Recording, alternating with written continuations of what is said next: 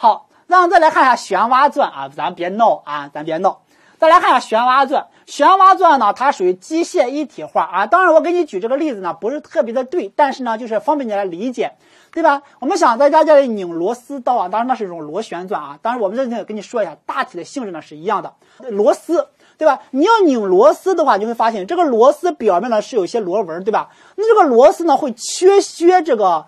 比如说木头啦，或者土体啦等等，它在往里边拧的时候呢，这个这些螺纹呢，会把我们这些木头是不是给它？你往里边旋转的时候呢，它把这个木头就给它排出来了，对吧？哎，就是这么一个过程。来看一下，先旋转，旋转的时候呢，开始削土，削土呢，你源源不断的往里边旋转，这个土呢，自己呢就往外运出来，然后呢卸土。当然，我这个里边呢也是需要什么？需要泥浆。护壁的，就反复的往里边旋转，然后呢，反复的往里边什么往外排土啊。那一般适用于蒙古土、粉土、沙土、淤泥土、人工回填土，还有什么卵石和碎石的地方，就是相对来的话，它也比较好。但是呢，大家注意一下，只有具有大扭矩的时候呢，才适用于微风化岩层。怎么来理解呢？你拿一个大螺丝刀和一个小螺丝刀呢，你来试一下，对吧？你用小螺丝刀呢，你来拧一个同样的螺丝啊。同样的一个螺丝，你用小螺丝刀来拧的话比较费力，但是呢，你用大螺丝刀的话，哎，它就比较容易。那这个地方也是一样，如果是普通的情况的话，那肯定是普通的土呢是比较好的，什么蒙古土啦、粉土啦等等，还有部分的卵石。但是如果说你的扭矩比较大的时候，有很大的力的时候呢，我们才适用于微风化岩层，啊，只有你有大扭矩动力的时候呢，才会有微风化岩层。好，那来看它的特点，也是一个选择题，来注意一下，它是呢一个什么机械一体化，对吧？我们是自己呢往里边旋转，不需要你去接杆，所以呢我们的工作效率呢是比较高的。到了一定位置呢，我可以自动的去校正相关的垂直度啦等等，同时它的扰动呢是比较小的啊，这是它的特点。好了，四种方法呢，我们来给大家说完了啊。我来先来找几道题目来看一下吧，我们先不说这些东西啊。先来做几道题目呢，我们再接着往下走啊。四几种方法说完之后呢，我们来看一下。现在的话，在二建里边的话是没有这个蒙古土了，都是一些什么那个粘土啊，都是一些粘土。现在没有蒙古土一说了，只不过一建呢还没有改过来啊。你看一下，下列不属于护筒的作用的是哪一个？稳定孔壁、钻头导向、隔离水、增强桩身强度。这个护筒呢，未来呢它是要出来的，对吧？我们的桩身强度靠谁呀？靠的是水泥混凝土，而不是护筒。答案是选 D 啊。再来看这道题，说用的是正循环，则泥护壁泥浆的循环呢，包括一二三四五，则泥浆循环正确的是。那大家想一想，我们这个泥浆呢，首先是在哪？是在泥浆池里，对吧？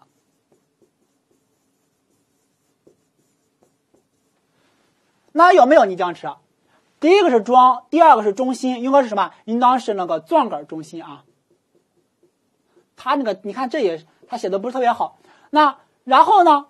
没有吧？就泥浆泵，还有什么沉淀池？没有。然后呢？谁来把这个泥浆给它洗起来？应该是泥浆泵吧？是不是只有泵来吸水啊？那在这里边的话也没有泵，那怎么办？我们把这个泵呢压到什么呀？压到龙头上去，对吧？就是吸水，然后用水龙头往外排嘛。那这个时候有一个什么？有一个泥浆泵龙头。那所以呢，它是排在第一位的，怎么办？立马就知道是选 B 了吧？好，我们再接着往下走嘛。泥浆泵龙头呢，把这个泥浆呢压到哪？压到钻杆中心，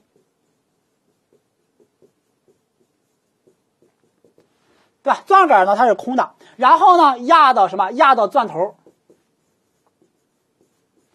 然后呢，流入桩身，源源不断的往外流，流到沉淀池，沉淀池再流入泥浆池，所以呢，应当是四二三一五啊，四二三一五。好，再来看这一个啊。虽然说你之前做过，但是咱们还是得看一下它的说法中正确的是这个地方说的是冲击钻啊，冲击钻。好，第一个不适用于有孤石的对吧？冲击钻呢，它的冲击力呢是比较大的，什么地层呢都可以用，特别是你有石头的啊更好。反正我不怕，对吧？砸呗，怎么也能砸服了它，所以呢这个是可以的。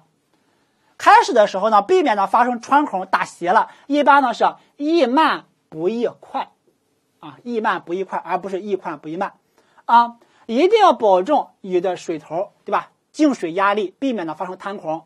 遇到倾斜的岩石，我们回填卵石来给它整平了之后呢，再去。所以呢，不是说不能采用，只是呢，我们要先去给它整平了，然后呢，再去接着往下钻啊。好，所以这个是错的，答案呢是选 C。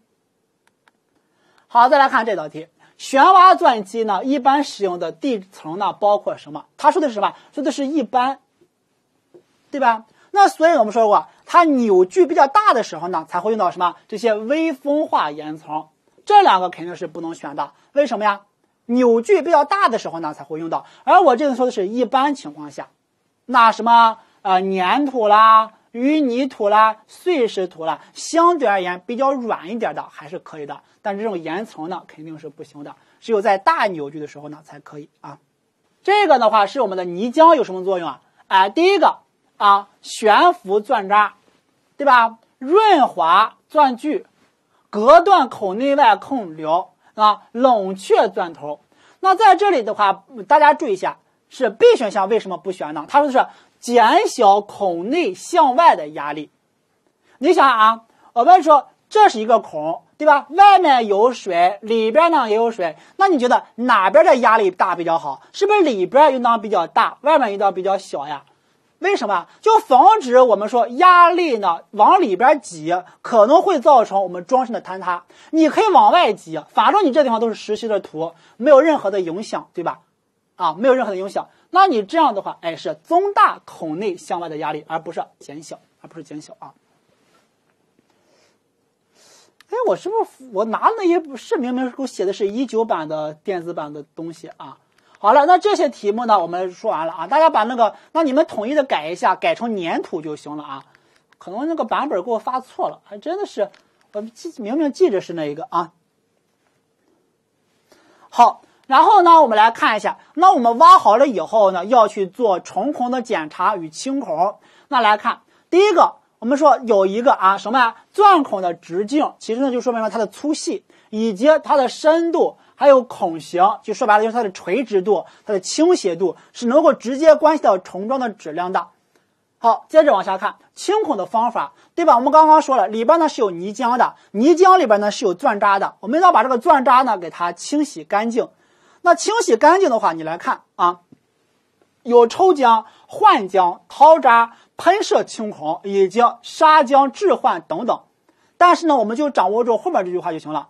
其中呢。抽浆法较为彻底，就是你把里边的东西都都给它抽走，抽走了什么都没有了，是不是特别彻底啊？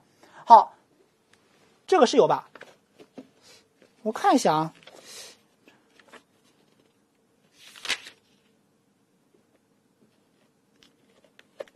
对呀，我这个东西这里呢都是对的呀。那那个版本他估计给我发错了啊，就是有些地方呢没有改过来，真的是我拿的是一九版，你把那个地方改一下吧啊，改一下。怎么还在那纠结啊？好了，再来看一下清孔的质量，清孔的质量就就说白了，就是我们清完了以后呢，看一下这个底部的钻渣呢它的厚度，啊就不要特别的厚，对吧？你想想，我未来呢是要浇筑混凝土的，浇筑混凝土的话，受力以后。那下边有钻渣，钻渣呢是软土，对吧？一受力呢，它就会往下缩，所以呢，它的厚度呢不要特别的厚。我们来看一下摩擦桩呢，你稍作了解就行了。如果说桩径小于等于一点五米，它的厚度呢就是小于等于二百毫米。下边这个钻渣，如果说桩径大于一点五米，长度大于四十米，或者土质比较差的时候呢，小于等于三百毫米。这个呢稍作了解，然后呢，我们重点的话是来看一下什么是支撑桩或者端承桩。那大家想一下，端承桩的话，它的桩的底部一定是怎应当在持力层上去，对吧？因为你摩擦桩呢，主要是利用周围的土体的摩擦力来承重的。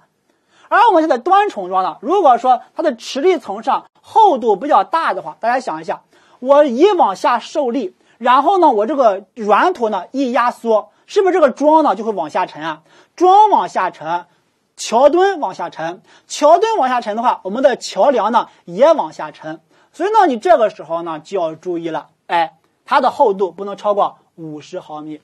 如果不满足要求了呢，我们下放了钢筋笼和导管以后呢，需要进行二次清孔。你要然后呢，注意不能用加深钻孔的深度的方式来代替清孔，一定要清孔。有人说了，我我不清了呗，我把它往下再把这个桩呢再做深一点。你想一想，你做的再深，我底部的钻渣永远还在那里，对吧？我是不是一压，它还是往下收缩啊？所以呢，我们该清孔了，还是要清孔啊。你往下一压，它往下沉，往下沉的话，我们的桥墩、桥梁都是要往下沉的。所以你这个时候呢，都会受到影响，怎么办？一定要清孔，不能用加深钻孔的深度来代替清孔啊。好，最后呢，再来看一下钢筋笼的制作与吊装啊。我现在拿着教材来走吧。好，来看着我们的这个啊，我们的你看钢筋笼骨架。对吧？那也是一样的，它要形成一个保护层。那在这里呢，也应当设置保护层后的垫块，间距呢为竖向呢是两米。我们在上一节课给大家讲的是上部结构，就是梁片在做的时候呢是多少？是一点二米，对吧？而我们的这个桩呢是什么？是两米。这你看啊，这是一个，这是一个，它们之间的距离呢是两米。那如果说这属于一个梁片的话，这个垫块呢，应当是一点二米，你不要记混了啊。横向的话，圆周处不能少于四个，就这一圈啊，围绕一圈，你看一个、两个、三个、四个、五个，就转一圈的话，不能少于四个。这个地方放了五个，特别的满足要求啊，满足要求。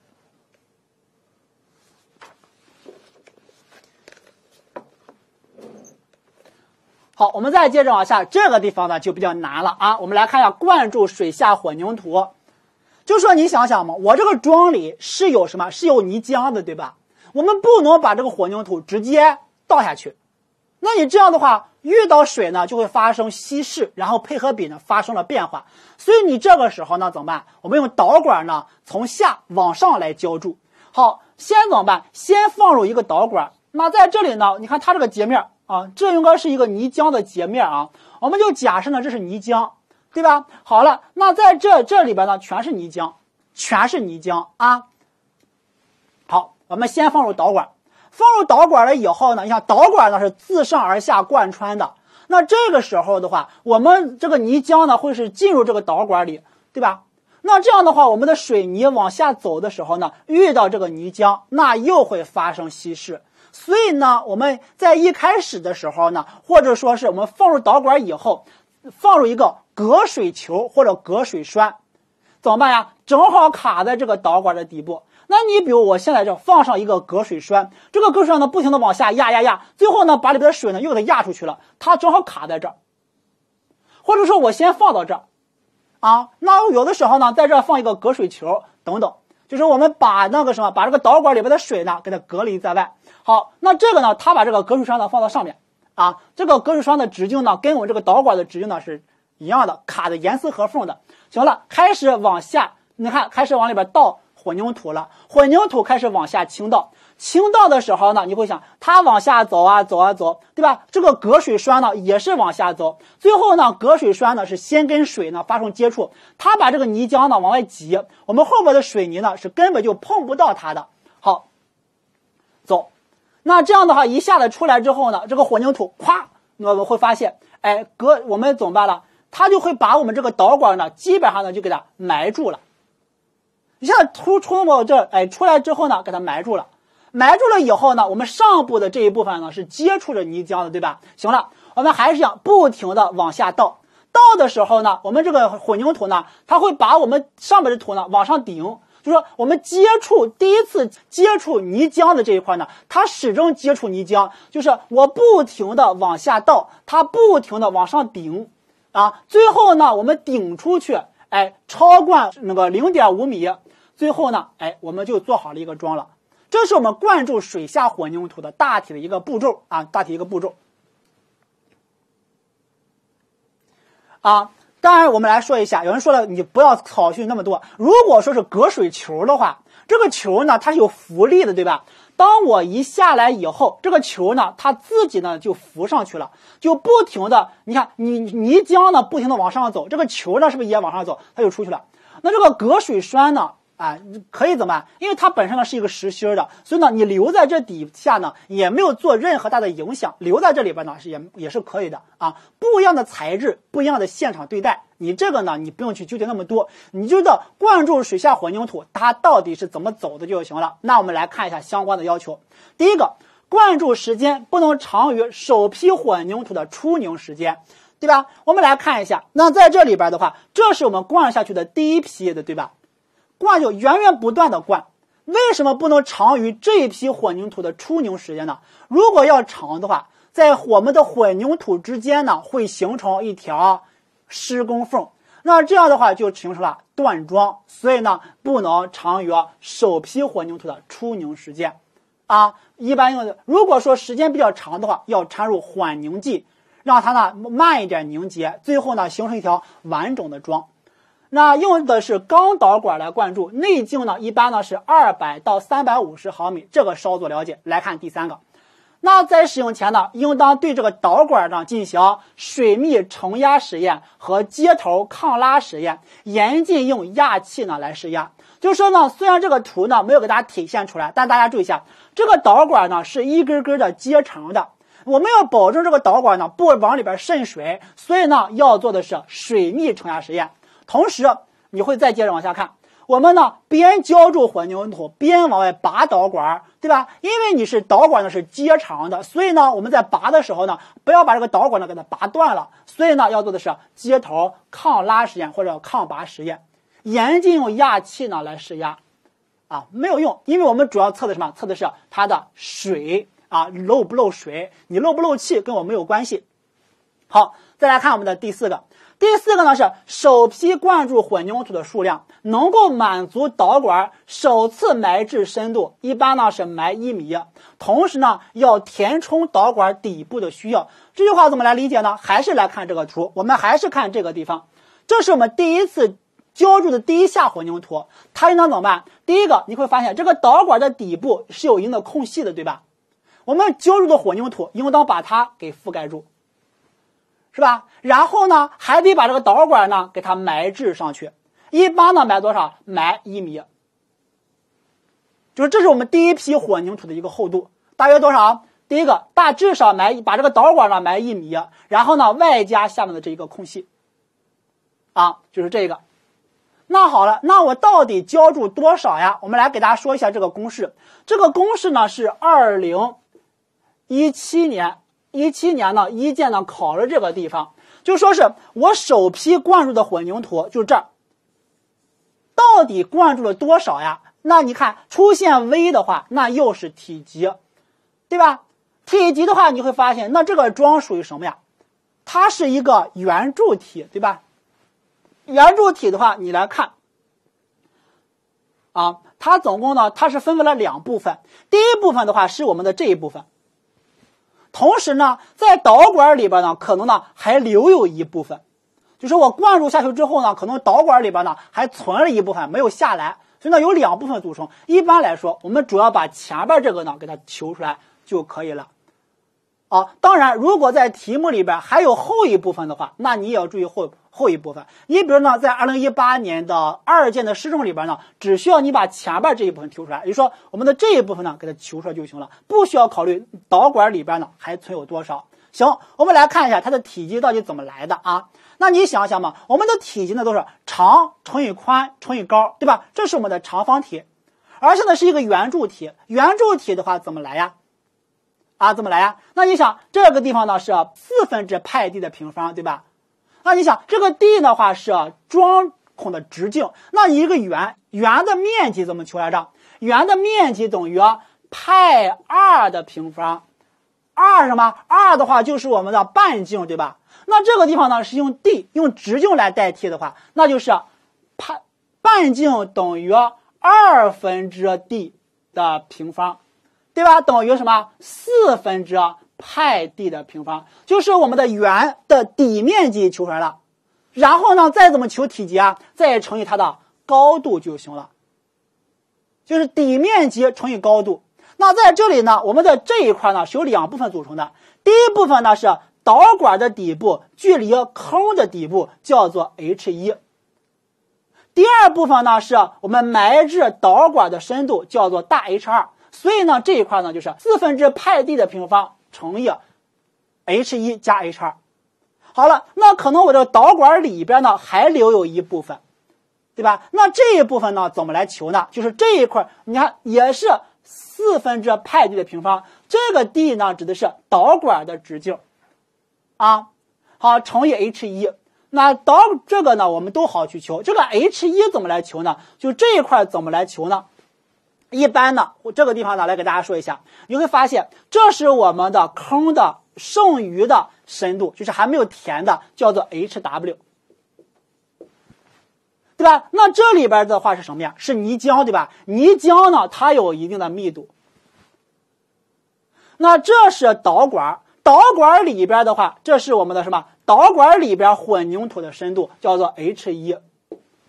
里边的话是水泥混凝土，水泥混凝土的话也有一定的密度，对吧？我们要保证内外静水压力持平，所以呢，它们两者的都公东公式呢是相等的。那这个时候呢，稍微一等等于 h 一等于什么？h w 乘以 r w 密度，r 代表密度除以一个 r 就行了。那你会说这个的话我记不住啊？一般来说啊，如果在题目里边给了你我们泥浆的密度。给了你啊，水泥混凝土的密度才会让你去求这一块。如果说没有给你的话，这一块呢，你可以不用去考虑啊，可以不用去考虑。你只要把前面这一块给我记住就行了啊。这是我们这一个啊，哎，你别催我，着啥急呢？好了，那再来给大家说一下啊，有人呢之前也问过我啊，说这个导管的厚度我要不要减掉呀？啊，啊咱咱做人不要这么抠啊！你别什么东西都给他，你做项目经理也不带这样的啊。就是这一部分的话，你忽略不计就行了。真有人问过啊，咱别这么抠啊，呃，别这么省。这一部分呢，就忽略不计就行了啊。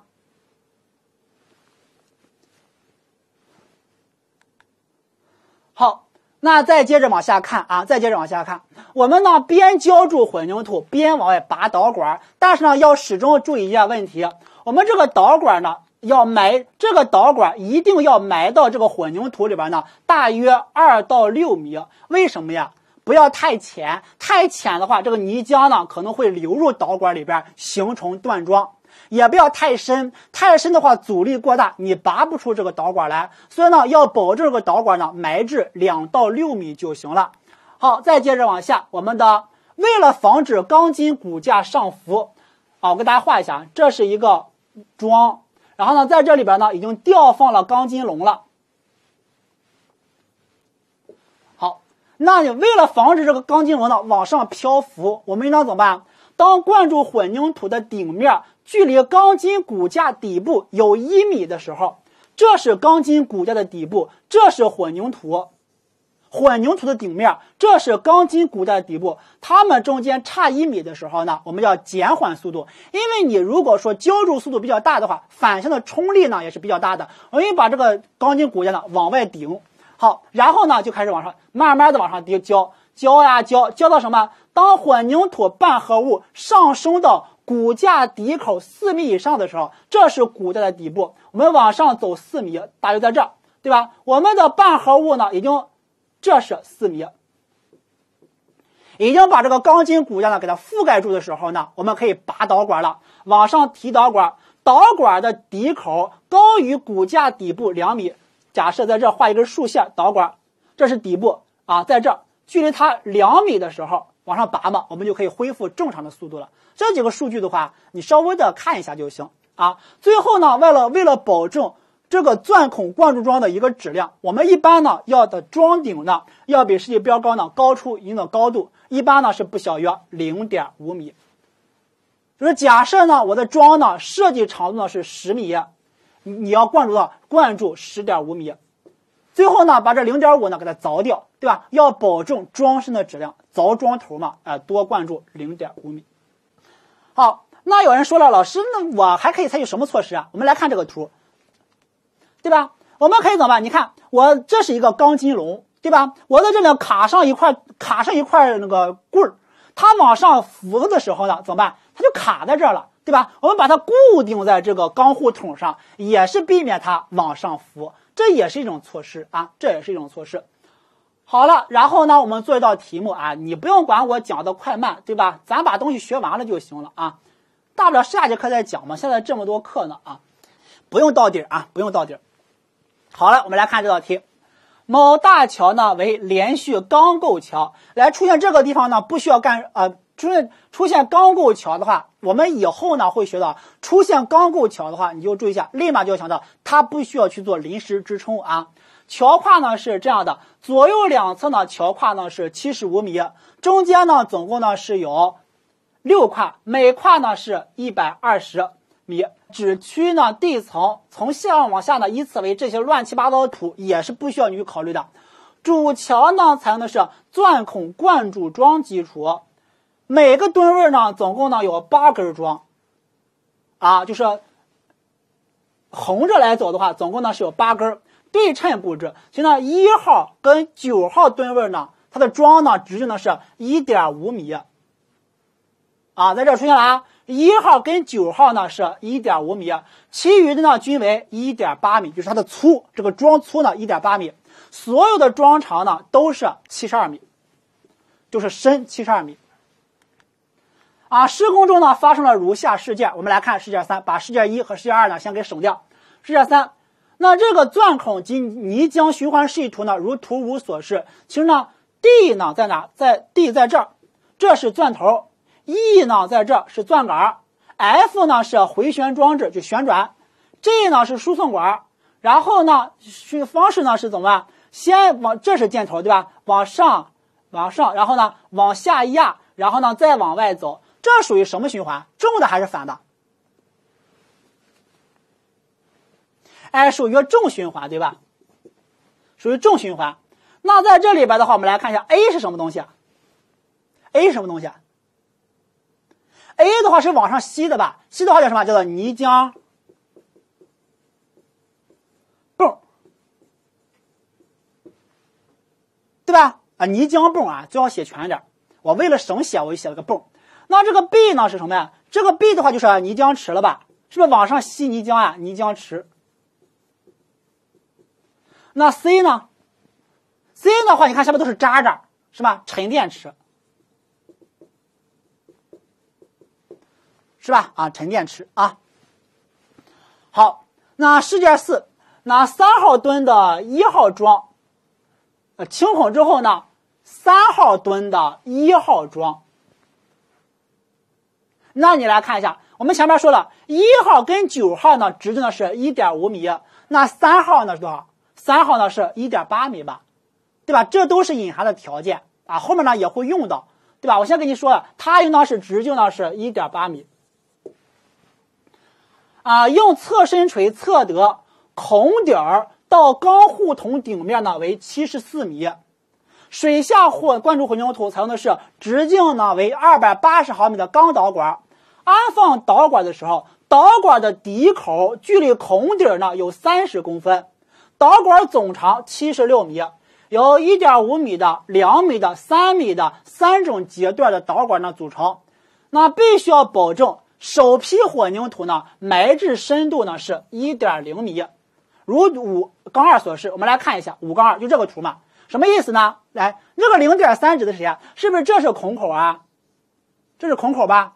距离这个桩的底部，这个 H 一等于零点三米吧？就三十公分嘛，零点三米。然后呢，我们说埋置深度，这是这个 H，这应该是这个，这是 H 二。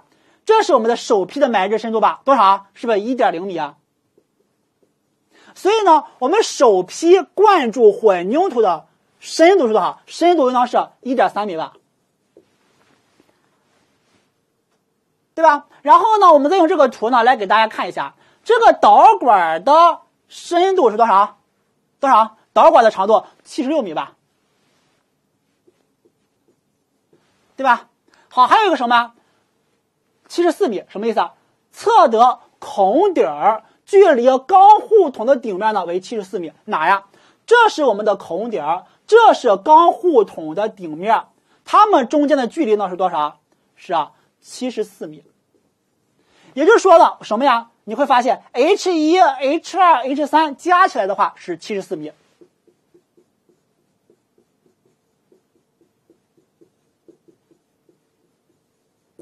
是不是这么一个数据啊？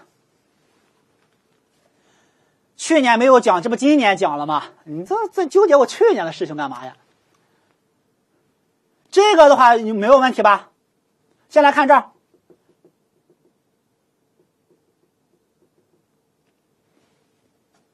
这个公式怎么来的？别问我，再别问我怎么来的啊！刚刚跟你说了啊，你别再瞎聊啊！好，再接着，其中呢，H 一呢为孔装孔底到导管底端的距离，H 二呢为首批混凝土的埋置深度，H 三呢为孔内水头或者泥浆顶面到孔内混凝土顶面的距离，H 一呢为啊那个导管内混凝土高出孔内混凝土顶面的高度，就是。这一块对吧？H 一，好，且孔内泥浆顶面呢持平，孔内泥浆跟护筒顶面持平，就说了我们的泥浆呢就到的什么？就到这个钢护筒的顶面，就变相的告诉我们了，就是 H 一加 H 二加 H 三呢等于七十四米，它们都是持平的啊。好，再接着，且混凝土的密度等于二点四克每立方米。泥浆的密度等于一点二克每立方米。坏了，告诉你这个数据了。如果没有告诉你的话，其实呢就是不要求它；如果告诉你了，那就说明要求它了啊。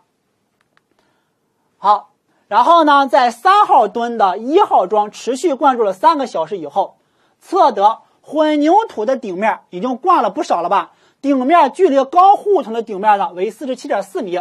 此时已经拆除了三米的导管四节，两米的导管五节，就是我们是不是边浇筑边往外拔呀？边拔边拆嘛？拆了多少了？拆了是三乘以四加上二乘以五，拆了二十二米，就拆了二十二米了。那这个这个我等会儿来给大家说这道题啊，我们先不管它。来，我们来看一下试卷六，采取了如下做法。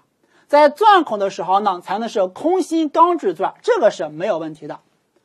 那水下灌注混凝土前，对导管进行压气试压实验，是做这个吗？我们说做两个，一个呢是水密承压实验，一个呢是接头抗拉实验，没有这个压气实验，对吧？哎，不对，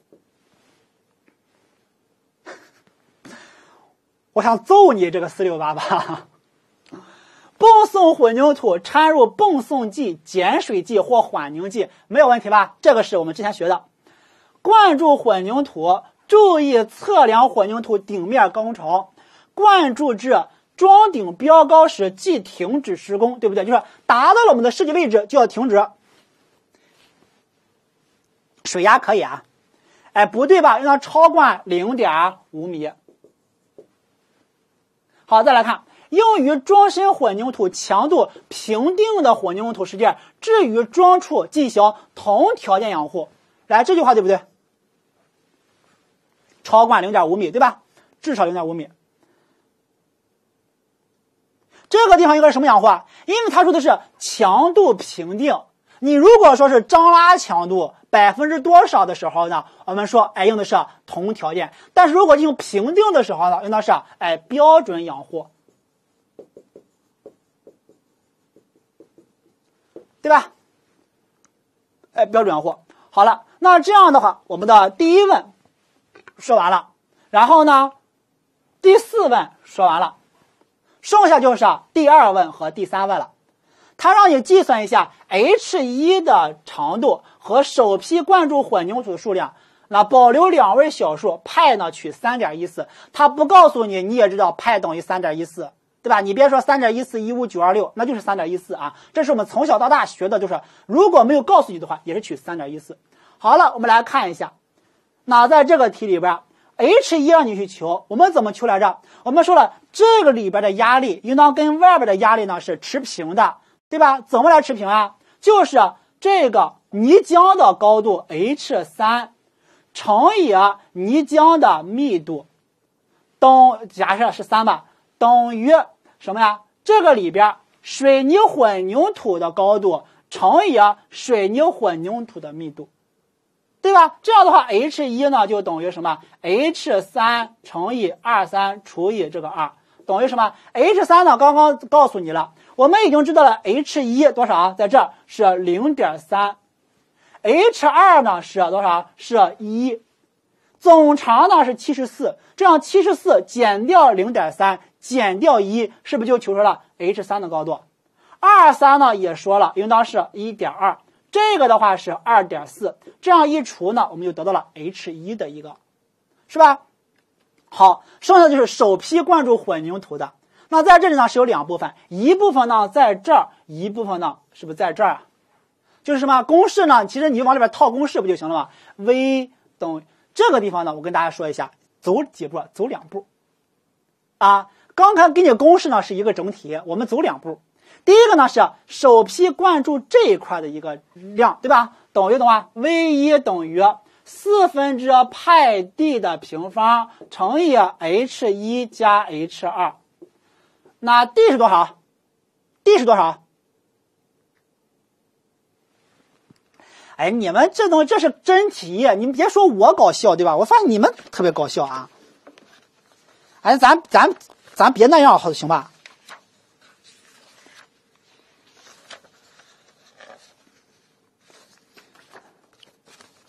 啊，这道题目呢会给你啊，会给你在我们的那个什么里边，是吧？应当是多少？应当是一点八吧，是一点八吧，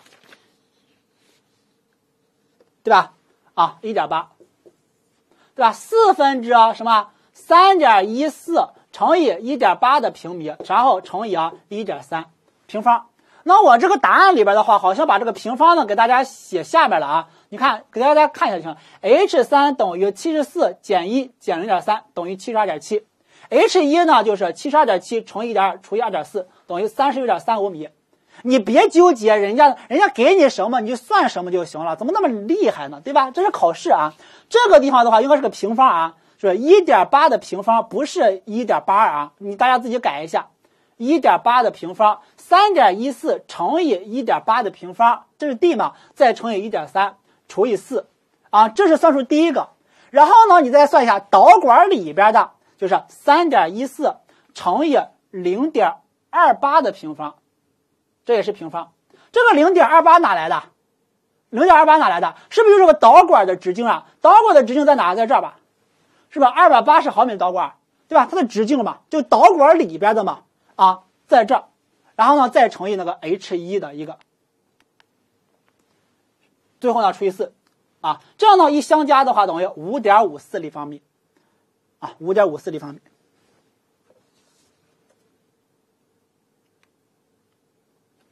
好了，我们再来看一下我们的第三问。第三问说埋置深度是否符合要求？埋多少呀？是不是要埋二到六米啊？只要在这个范围里边就可以。那我们回到前面这个地方，啊，就是用这个呢来给大家说一下啊。那现在的话，我们是不停的来浇筑混凝土，对吧？浇到多少，那我们就开始浇啊浇啊浇，浇到这儿，下面这都是混凝土，这是混凝土的顶面，我就不画图了啊。这个导管的长度呢是七十六米。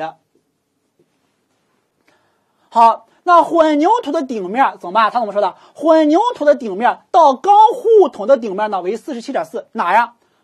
就这儿，混凝土的顶面。到钢护筒的顶面，就这一段是四十七点四米啊，或者不这样，就就就这个吧，这就是我们混凝土的顶面，对吧？然后呢，距离它的顶面呢是四十七点四米。下面呢，就是问你它的一个埋置的深度是多少，对吧？那怎么来求呀？其实呢，你来看一下嘛，我们已经怎么了？已经拆了二十二米的导管了吧？告诉我们一个什么？我们已经浇筑了二十二米的一个混凝土。当然，这个图的话就是就有点不对了，对吧？就说我们已经浇筑了二十二米的一个混凝土，说导管以下已经拆了二十二米了，就这一块呢，假设是二十二米，对吧？然后呢，这一块呢是未知数。那在这里边的话，我给你给大家改一下，就是这里边 h 一等于二十二米。我们已经教了这么多了，因为你拆了那么多导管嘛，边浇筑边拆，拆了二十二米，说明你已经浇筑了二十二米了。这个 H 一是二十二米，H 二呢是 X，H 三呢等于多少？等于四十七点四米。其实把这个它求出来就行了。但是还有个问题，对吧？还有一个问题，什么问题啊？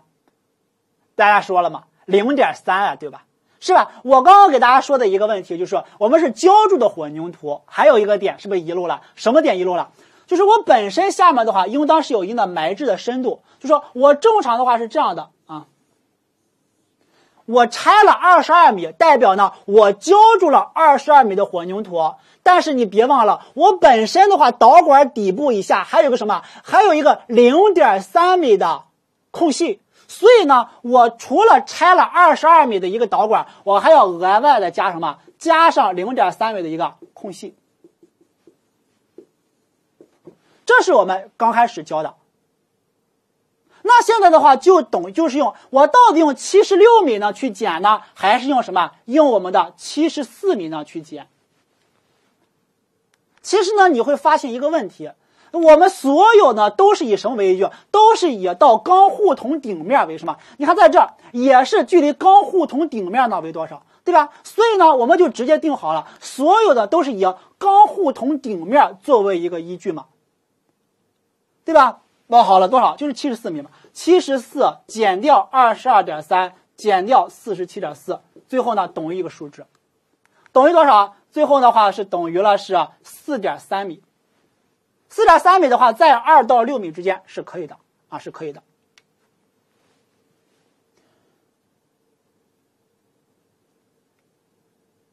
对吧？我来给它重新的，那我们就再给大家重新画个图啊。这个图呢，可来给大家画一下啊。好了，这是一个桩，给大家画一下啊。我本身底部呢是有零点三米已经浇好了。就是本来零点三米，这是一个空隙，对吧？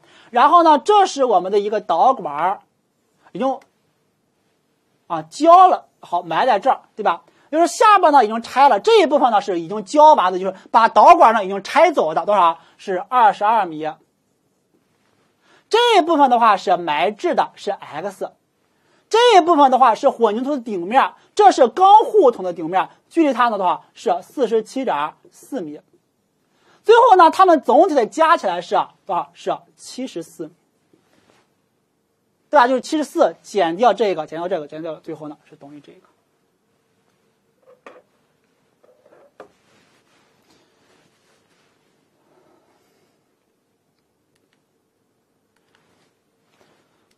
好了，这道题的话确实代表了一定的难度啊，一定的难度。好了，我们今天晚上就到这儿了啊。为什么减零点三？刚刚跟你说了呀，你看我在讲的时候，你根本就肯定是没有听，你也别跟我犟啊，肯定没有听，对吧？为什么要减零点三？你看嘛，这个导管的底部下面，我们来看一下，或者用这个来看，这个导管下面呢本身呢就有零点三，对吧？这个呢不不算到导管里边去的。然后呢，从这儿往上走，这一部分的导管呢是二十二米，我已经给它拆掉了。对吧？就灌到这儿了，啊，这些东西都拆掉了。我再接着往上面有一定的埋置，重新画一下吧。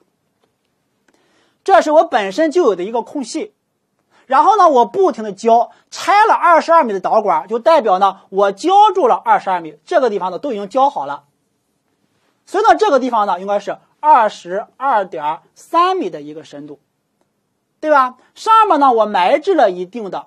这一部分呢是我们要求的 x，这是我们混凝土的顶面，混凝土的顶面距离钢护筒的距离呢是四十七点四米，就这样来走的。圆柱体，这个是已经都给你数值了啊，都给你数值，你最好再去听一下我刚才给你讲的，我刚才给你讲都在干嘛呢？